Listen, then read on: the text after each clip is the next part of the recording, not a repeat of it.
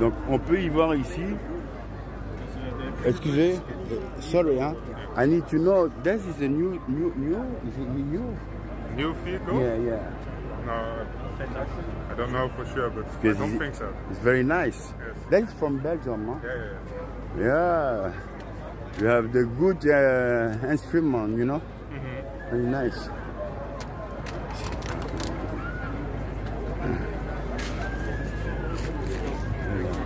Regardez comment il est beau, quoi.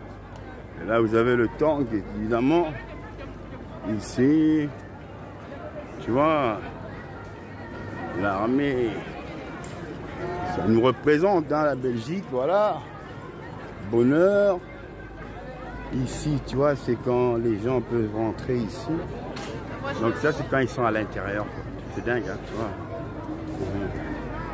Voilà. Donc on a tout le, le bonheur de l'armée ici, évidemment. Des canons. euh. Waouh. Bon là, je vais juste regarder un peu, voilà. Il, il est très beau. Hein. Vive le roi du Maroc. Pardon.